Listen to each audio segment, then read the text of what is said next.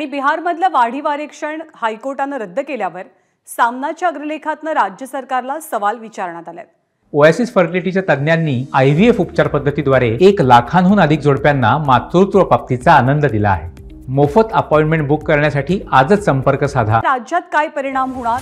सरकारनं दिलेलं मराठा आरक्षण टिकणार का? असा सवाल सामनातनं विचारला जातोय.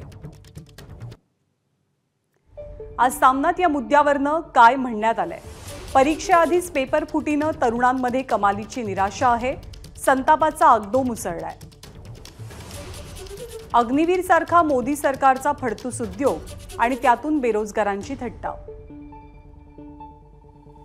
मोदी महाशयांनी युक्रेनचं युद्ध थांबवलं पण पेपर लीक प्रकरण ते थांबवू शकले नाहीत. महाराष्ट्र आर्थिक आणि औद्योगिकदृष्ट्या मागास करण्याचे प्रयत्न गेल्या दहा वर्षात झाले.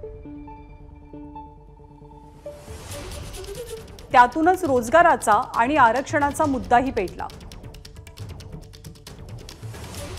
बिहारमधील वाढीव पंधरा टक्के आरक्षण पाटणा हायकोर्टानं रद्द केलं. टिकणारं आरक्षण देण्याचं आश्वासन मिंधे सरकारनं मराठा समाजाच्या नेत्यांना दिलंय.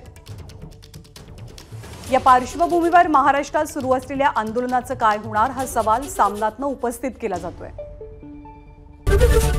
एबीपी माझा. उघडा डोळे बघा नीट.